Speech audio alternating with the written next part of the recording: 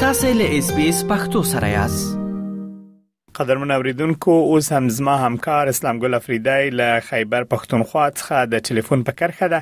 له هغه څخه به په پاکستان کې د ورستیو مهمو پیښو په اړه معلومات وورو افریدی صاحب په پال کې مهرباني وکړه او اوریدونکو سره په پا پاکستان کې د ورستیو مهمو پیښو په اړه معلومات شریک کړه مننه منیب صاحب د تیرو څو ورځو راهیسې وار په وار باندې په پاکستان کې د انټرنیټ د سپیډ د کموالي له امله چې دي په د انلاین کاروبار سره تړلي خلک چې دي د میلیونونو ډالرو د زیان سره چې دي هغه مخامخ شوي دي خو دولت وایي چې هیڅ قسمه څه د انټرنیټ ستونزه نشته دی خلک وی پی ان په زیات شمیر کې استعمالوي بل چې کوم خبر دی هغه د اسیایي بانک خبر ورکړی چې د 2050 کال پورې به چې دی د پاکستان د نفوسو شمیره 40 کروڑو ته ورسی او دا هغه شمیره ده چې په غاتو هیوادونو کې په پاکستان شمار شي چې د نړۍ د نفوسو شمیره یې نیمایي جوړیږي بل خبر چې دی هغه په خبر پښتونخوا کې د تعمیراتو یا د ودانیو د جوړېدو د وزارت چې کوم وزیر وو شکیل احمد هغه استعفا ورکړې ده او په دیو بل باندې د درغلیو تورونه چې دی لګولې دي په دې چې د تحریک انصاف ګوند ایالتي وزیر وو مننه افریدی صاحب تاسو لومړی خبر چې ورته اشاره مو درلوده هغه د انټرنیټ د سرعت مسله و چې تاسو ویلې د انټرنیټ سرعت یا سپید په آنلاین کاروبار باندې اغیز کړی دی او دغه کسان چې آنلاین کاروبار کوي لستونزو سره مخ کړي دي په پیل کې مهرباني وکړئ د دغه موضوع په اړه له اوریدونکو سره جزئیات شریک کړئ. منیب صاحب دغه پاکستان دولت یوه پریکړه کړې وه چې په هغې کې دوی ویلي وو چې دوی به هم د د چین او د شانتې د نورو هیوادونو پر شان باندې د فایروال په نوم باندې هغه پروګرام انسټالوي چې دوی به دغه ټولنیزه رسنۍ او د انټرنیټ د لارې چې څومره هم کمیونیکیشن کیږي یا رابطې کیږي یا تماس نیول کیږي د دوی بچی دي دوی څارنه کوي او دوی کول شي چې د دوی د ثبت کی او د طریقاټ لاندې راولي یا نظارت لاندې راولي نو دا غي نو ورستو دوه ځلې په پاکستان کې په مکمله یا په بشپړه توګه باندې چې دي د ټولنیز رسنیو د یو بل سره د روابط دغه سیستم یا د نظام چې دي هغه کیناستو او هیڅ قسمه سره تماس نه نیول کېدو لکه په واتس اپ باندې تاسو چې عکسونه ولېږئ یا ویډیوګانې ولېږئ نو هغه نه پرانستل کېدي دا داسې ویل کېدل چې دوی د فایروال تجربې کوي او دغه شانتې دوی په دغه تجربو کې کامیاب شوي دي ځکه چې په پاکستان کې د دولت یا د فوز پر ضد باندې چې دي هغه د ټولنیزو رسنیو څخه کار اخیستل کیږي او د دوی پر خلاف باندې چې دي لفظ العمل سخت لیدل کیږي او دا د هوا د پر دوی یو غواخ غني د دې په ترڅ کې چې دی بیا چې کم خلک د دغه انلاین کاروبار سره تړلي دي او د انټرنیټ نه استفاده کوي په خپل روزګار کې او په دې کې دوی د سویل کېږي چې په دې په د نږدو کې چې ور پور په پاکستان کې نت وتړل شو نو څلويخت کروڑه ډالر چې دی هغه ځان رسیدلې دي هغه خلکو ته چې یا کمپنیانو ته چې د انټرنیټ سره یې نیغ په نیغه چې دی دغه کاروبار تړلې دی خو بیا په لومړي ځل باندې د پاکستان د د معلوماتو یا د انفارمیشن ټیکنالوژي د وزارت د لوري چې دی دغه مرستيال وزیر شازا شازا فاطمه چې دی مېرمن اغي یو خبري غونډه ته ویلي دي چې هیڅ قسم په پاکستان کې د انټرنیټ د سپیډ د کمی ستونزه نشته دي ولې په ګڼ شمیر کې خلک چې دی وی پی ان استعمالوي وی پی ان هغه پروګرام دی په موبایل کې چې کله تاسو ځنې پروګرامونو ته لاسرسي نه لرئ یا د دولت د لوري بندیز وي نو په ځنو هوادونو کې بیا دغه وی پی ان کارول کیږي دوی په خپل خبرو کې دا هم ویل چې تیر کال 2.4 ارب ډالر ګټه چې هغه پاکستان وګړو چې یا پاکستان هوا تر لاسه کړې ده د انټرنیټ نه او سخت کال دغه ګټه یعنی په اتو میاشتو کې یو و میاشتو کې 3.2 ارب ډالر تر رسیدلې ده نو دا د پاکستان د پاره چې دي هغه دغه د انټرنیټ ستونزه چې دي هغه دې ته هغه لوی کمپنۍ اړ کړي دي او د دې په اړه خبرونه راځي چې دوی په هیواد پریږدي او نور نور هیوادونو ته خپل روزګار یا کاروبار ولېږدوي. مننه افریدی صاحب تاسو دې مسلې ته هم اشاره درلوده چې آسیایي بانک د پاکستان د نفوس د زیاتوالي په اړه څرګندونې کړې دي که دغه موضوع هم له اوریدونکو سره شریکه کړئ او جزئیات ووایئ چې دوی څه ویلي او د پاکستان نفوس به څومره زیات شي.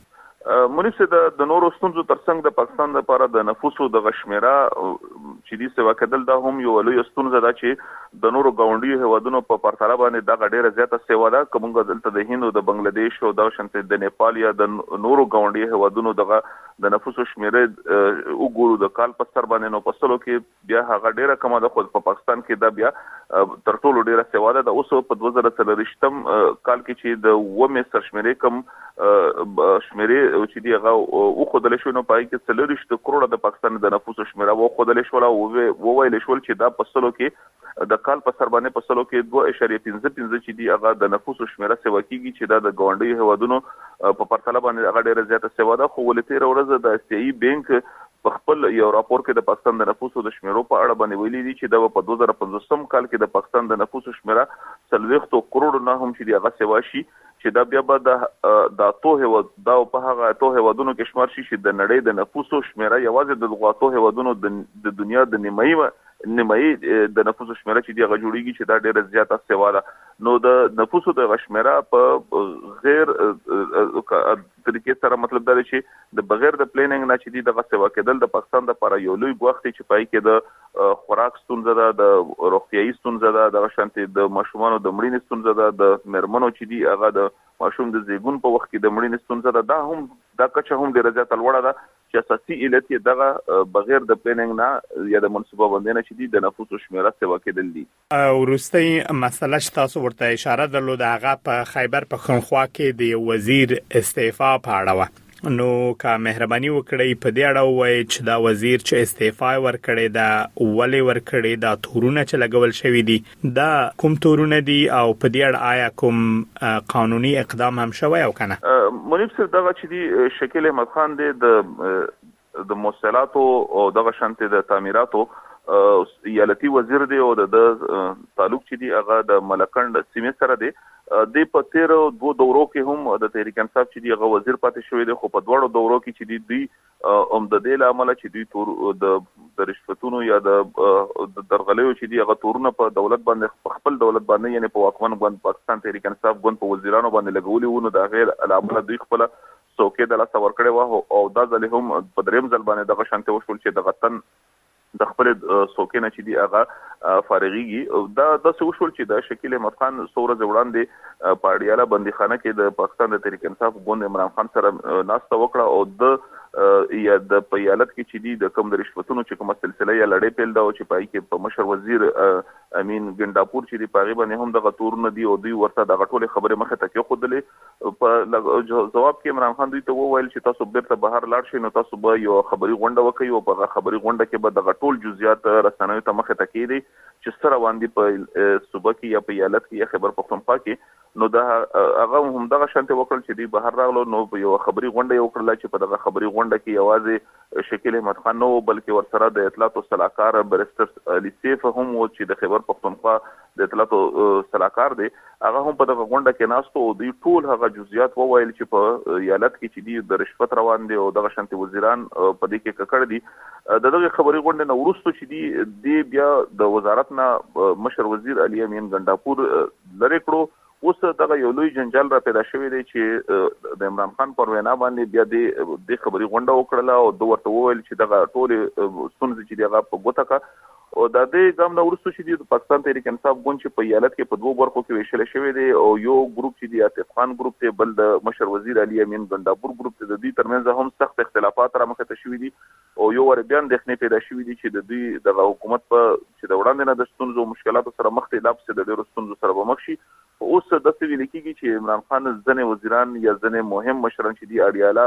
بنديخانې ته راغوښتي دي چې په دغه ستونزه به ورسره خبرې وکړي. افريدی صاحب ډيره زياته مننه چې دغه معلومات مو له اوريدونکو سره شريک کړه. مننه مهرباني. اس پی اس پختو په فیسبوک کې تا کې پلی مطلب یو فاک کړئ نظر ور کړئ او له نورو سره شریک کړئ.